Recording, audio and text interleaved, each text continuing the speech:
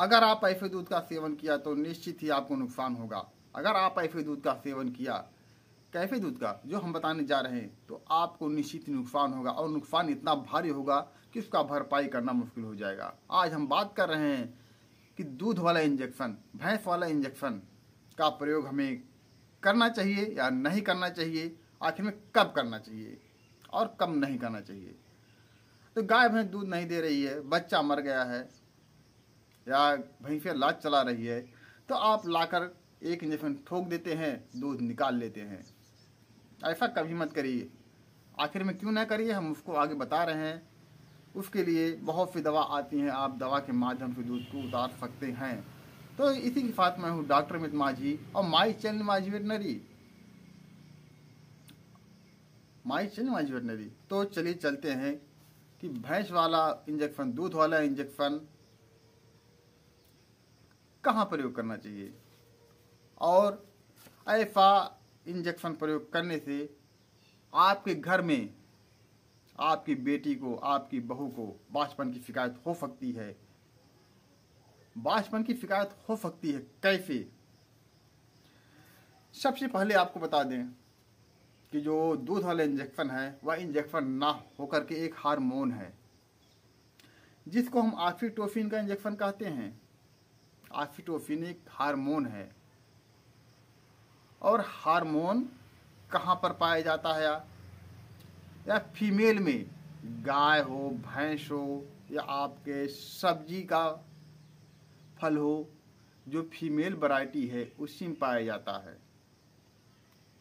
मुख्यतः दो हार्मोन पाए जाते हैं। एक आक्सीटोसिन एक हाइड्रोप्रिस्टान दोनों को जब बैलेंस रहता है तो गाय, भैंस अच्छी तरीके से प्रेगनेंट होती हैं और फल भी अच्छा देता है। लेकिन अगर डिसबैलेंस हो जाता है तो एक दो बार हुआ, उसके बाद बेकार।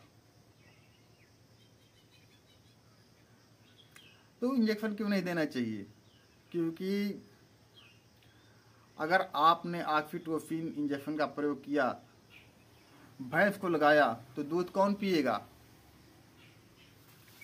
दूध कौन पिएगा? हम पिएँगे, आप पिएँगे। आपके घर की बहु बेटियाँ पिएँगी, आपके घर की महिलाएँ पिएँगी। तो जो एक प्राकृतिक रूप से बैलेंस मात्रा में फीमेल के अंदर, महिलाओं के अंदर या गाय भैंस के अंदर हार्मोन रहता है एक बैलेंस मात्रा में, वह डिसबैलेंस हो जाएगा।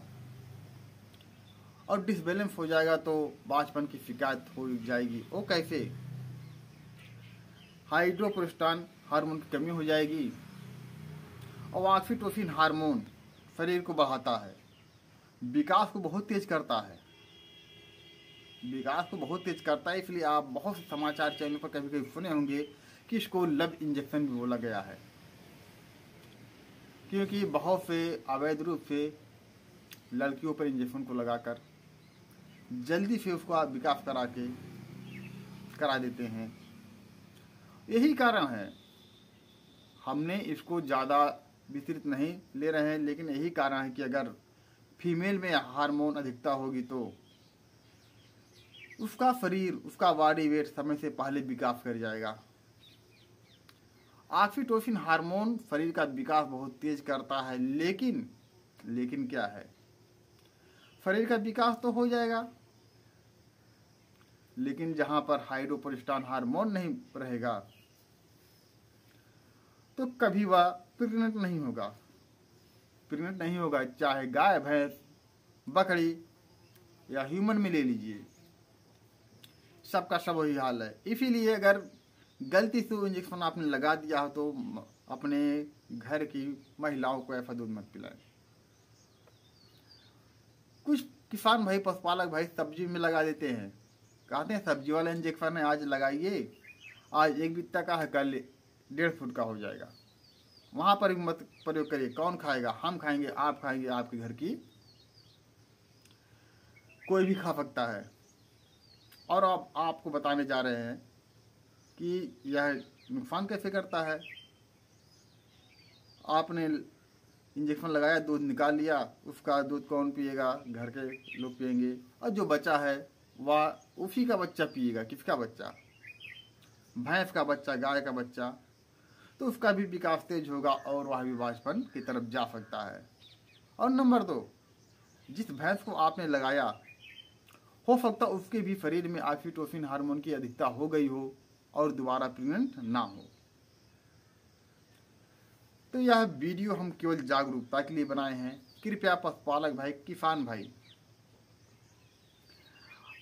जो इंजेक्शन अवैध है, सरकारी रूप से बंद है, उसका प्रयोग मत करिए।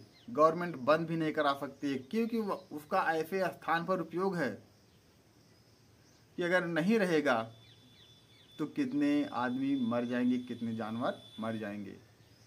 क्योंकि यही एक ऐसा इंजेक्शन है कि बच्चा देने में परेशानी होता है तो ऑक्सीटोसिन हार्मोन देकर हम बच्चा पैदा करते हैं। इसीलिए पूरे विश्व में इसको कोई बंद नहीं कर सकता है, लेकिन कानूनी रूप से अवैध प्रयोग मत करिए, नहीं तो इसका इल्ज़ाम आप भोंगे और अगर ऐसा ही रहा, आप इंजेक्शन लगाकर दूध निकालते हैं, दूध डेयरी पर देते हैं, किसी के घर देते हैं तो निश्चित ही आने वाले समय में बाजपन की शिकायत ज़्यादा फैलेगी। यह मेरा मानना है। तो वीडियो कैसा लगा?